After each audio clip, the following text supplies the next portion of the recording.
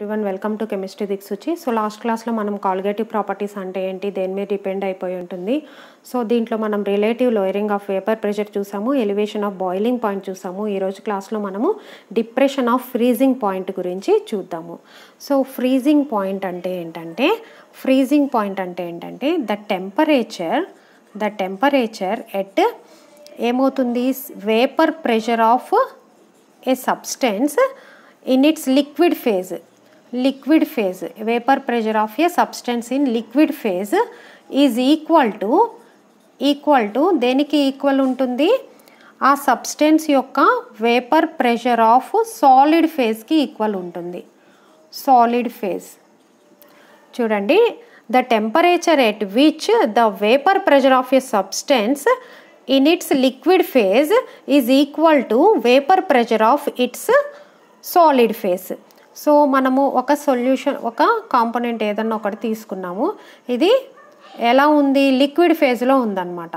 ఈ లిక్విడ్ ఫేజ్లో ఏదైతే వేపర్ ప్రెషర్ అనేది ఉంటుందో అది అదే అదే ఈ లిక్విడ్ యొక్క సాలిడ్ ఉంటుంది కదా ఆ సాలిడ్ ఫేజ్లో ఉన్నటువంటి వేపర్ ప్రెషర్కి ఈక్వల్ అవ్వాలి. ఈ రెండు ఈక్వల్ అవ్వాలి. దీన్ని ఏమంటున్నామంటే ఫ్రీజింగ్ పాయింట్ అని అంటున్నాం. దీన్ని ఒక మనము ఒక గ్రాఫ్ తీసుకొని ఎక్స్ప్లెయిన్ చేద్దాము. సో ఇప్పుడు మనం ఏం చేసామంటే ఫస్ట్ ఒక సాల్వెంట్ తీసుకున్నాం. ఒక సాల్వెంట్ తీసుకున్నాం. ప్యూర్ సాల్వెంట్ ప్యూర్ సాల్వెంట్ తీసుకున్నాం. ప్యూర్ సాల్వెంట్కి మనం ఏం చేసామంటే సొల్యూట్ని యాడ్ చేసాం. Solvent plus solute. సో సొల్యూట్ని యాడ్ చేసాము. ఇది సొల్యూషను. ఇది ప్యూర్ సాల్వెంట్ అనమాట సో దీని ఇప్పుడు ఏమవుతుందంటే దీని యొక్క వేపర్ ప్రెషర్ ఏమవుతుంది? దేనికి ఈక్వల్ అవ్వాలి? సాలిడ్ ఫేస్లో ఉన్నటువంటి వేపర్ ప్రెషర్కి ఈక్వల్ అవ్వాలి. సో ఇప్పుడు చూడండి గ్రాఫ్ ఎలా ఉంటుందో దీన్ని సో లాస్ట్ క్లాస్లో ఎలివేషన్ ఆఫ్ బాయిలింగ్ పాయింట్ యొక్క గ్రాఫ్ తీసుకున్నాం. ఇప్పుడు ఏంటంటే మనము సాలిడ్ ఫేస్ కూడా తీసుకుందాం. సాలిడ్ ఫేస్ అనుకోండి ఇది. ఇది సాలిడ్ ఫేస్. ఫస్ట్ మనం ఏం చేసామంటే సాలిడ్ ఫేస్ సాలిడ్ ఫేస్ యొక్క దీంట్లో దీన్ని గ్రాఫ్ తీసుకున్నాం ప్యూర్. సో ఇది ఈ విధంగా ఉందన్నమాట. ఇది సాలిడ్ ఫేస్లో ఉన్నటువంటి దీని యొక్క vapour pressure solid phase. Solid ఫేస్లో ఉన్నటువంటి వేపర్ ప్రెషర్ అనమాట ఇప్పుడు ఏం చేసామంటే మనము ప్యూర్ సాల్వెంట్ తీసుకున్నాం. ప్యూర్ సాల్వెంట్ తీసుకుంటే అదేమవుతుందంటే దాని యొక్క వేపర్ ప్రెషర్ ఎలా ఉంటుందంటే ఈ విధంగా ఈ విధంగా ఇక్కడ కట్ అవుతుంది. దాని యొక్క వేపర్ ప్రెషర్ అనేది ఈ విధంగా ఇక్కడికి కట్ అవుతుంది. అంటే టెంపరేచర్ తగ్గి లాస్ట్కి ఇక్కడ మనకి తగ్ కట్ అయిపోతుంది. సో దీని యొక్క పాయింట్ని మనం తీసుకున్నాం దీని యొక్క పాయింట్ ఏంటి? ఇదేంటి? ప్యూర్. ప్యూర్ కాబట్టి మనం దీన్ని టీ నాట్ ఎఫ్ కింద తీసుకున్నాము. సో నెక్స్ట్ ఏమవుతుందంటే మనము సొల్యూషన్ ప్రిపేర్ చేసాం. సొల్యూషన్ యొక్క వేపర్ సొల్యూషన్ యొక్క వేపర్ ప్రెషర్ అనేది సొల్యూషన్ది తీసుకున్నాం. సో సొల్యూషన్ది మనకి ఈ విధంగా ఇలా వచ్చి ఇక్కడ కట్ అయింది. సో ఇది టీఎఫ్ తీసుకుందాం. సో ఇదేమో ప్యూర్ ఇదేమో సొల్యూషన్ది ఇది వేపర్ ప్రెషరు ఇది టెంపరేచర్ సో ఈ విధంగా వస్తుందన్నమాట. సో ఈ గ్రాఫ్ను బట్టి మనకి ఏం తెలుస్తుందంటే మనము ప్యూర్ సాల్వెంట్ తీసుకున్నాం. దీని యొక్క వేపర్ ప్రెషర్ అనేది ఏ విధంగా ఉంటుంది? ఎక్కువ ఉంటుంది.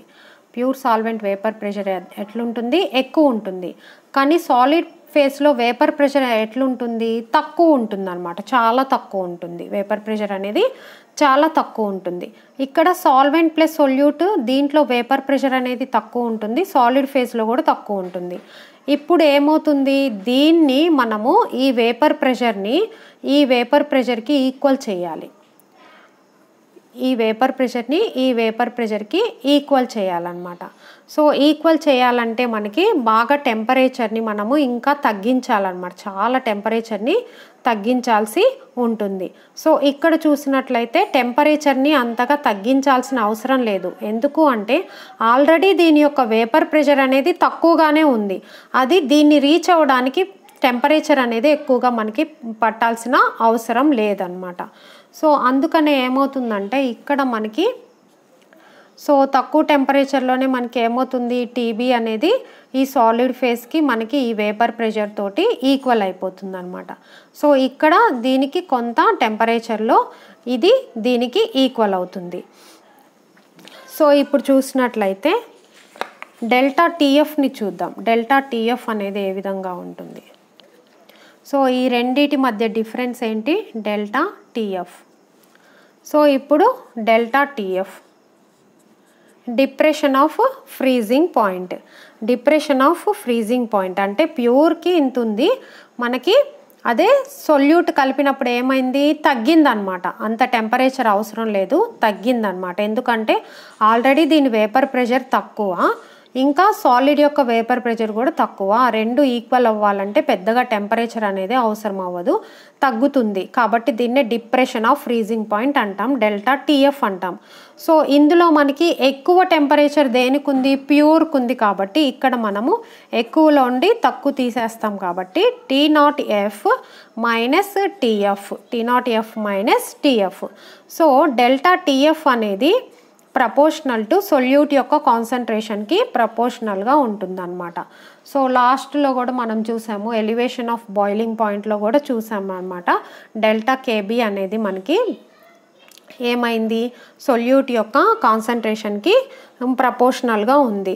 సో ఇక్కడ delta TF is proportional to solute కాన్సన్ట్రేషన్ని మనం ఇక్కడ కూడా మొలాలిటీలోనే తీసుకుంటున్నాం. So delta TF is equal to ఈ ప్రపోర్షనాలిటీ తీసేస్తే కేఎఫ్ ఇంటూ ఎం తీసుకు తీసుకుంటాం అనమాట KF into M. So same అక్కడ ఏ విధంగా ఫార్ములా వస్తుందో delta TF is equal to KF into so molality equal to ఏమవుతుంది? డబ్ల్యూ బై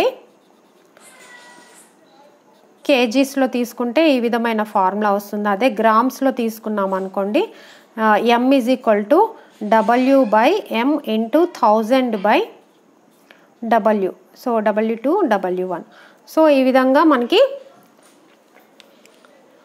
మొలాలిటీ యొక్క ఫార్ములా వస్తుంది. సో అదే ఫార్ములాని మనం ఇక్కడ వేసుకున్నట్లయితే W two by M into M two M two thousand by W one అనమాట అంటే ఇక్కడ డబల్యూ వన్ డబ్ల్యూ టూ దేంట్లో తీసుకుంటున్నాం మనం?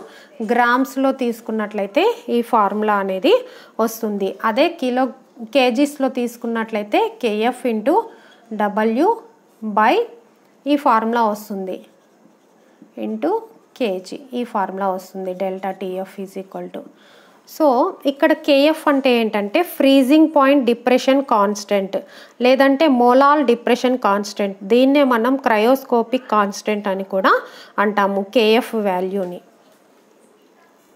సో ఇక్కడ దీని యూనిట్స్ కూడా చూసినట్లయితే కేఎఫ్ యొక్క యూనిట్స్ చూసినట్లయితే సో సేమ్ మనకి కేఎఫ్ యొక్క యూనిట్స్. కేఎఫ్ యొక్క యూనిట్స్ అంటే ఏంటంటే ఇక్కడ కేఎఫ్ అంటే ఏంటి?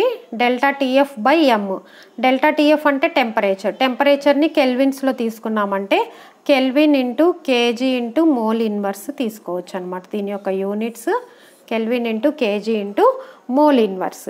So ఇది depression of freezing point. So ఈ వీడియో కనుక మీకు నచ్చినట్లయితే please subscribe my channel. Thank you.